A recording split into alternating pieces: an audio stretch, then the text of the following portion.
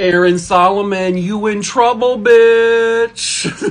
the mother uh, here of the daughter that you sexually assaulted when she was 11 years old and the mother of the son that you allegedly killed when he was 18. Yeah, Angie Solomon. Her hard work is paying off, baby. Her perseverance, her strength, her devotion to her two children, and her desire to get justice for both of them looks like it's panning out. So Angie posted something, and uh, Nancy Grace liked one of her replies. If you remember, uh, we were talking about Nancy Grace. We would like her to get a hold of this story because one of the officials there in Tennessee is like terrified of Nancy Grace getting this story. Well, again, Angie Solomon's determination has paid off, and it's happening, folks. Nancy Grace does officially have the Grant and Gracie Solomon story.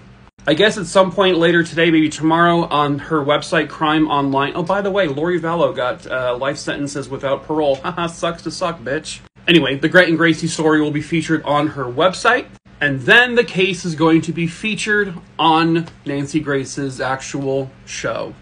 Angie let me know that it's okay to mention this now.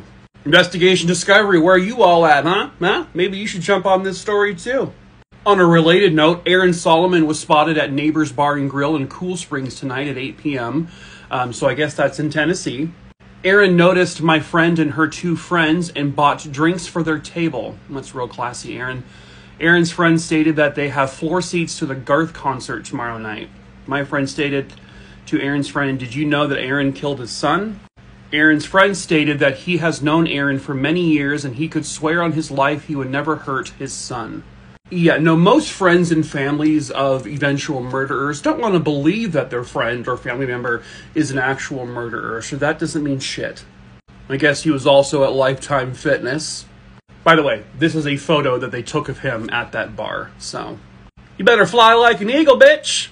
And still, still, he has not come out and said anything about being innocent in all of this. He hasn't said a fucking beep hasn't even threatened to sue anyone for saying all of these horrible things about him. I wonder why that is. Because if he sues someone for defamation, for lying, uh, they have to prove that we're lying, or we have to prove that we're not lying. Meaning all his dirty deeds would have to go through the court. If he's confident he would win, uh, how come he ain't doing shit? He's got money and he's got power on his side. And he's still sort of hiding. Yeah, good luck hiding from her. She's kind of a fiery pistol. Lover or hater, she's not one to mess with. Hopefully, this is on the path to justice for Gracie and Grant Solomon. Check the playlist, by the way, if you don't know what the story's about.